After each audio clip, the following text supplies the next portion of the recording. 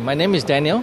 Uh, I'm from Dongfang International DFI. Uh, we are involved in the electric heaters uh, business, and we are here in ADIPEC uh, 2013, and uh, we engage uh, the IMI services, and I think we are quite satisfied with them. Good work, Sophia and the team. Thank you very much.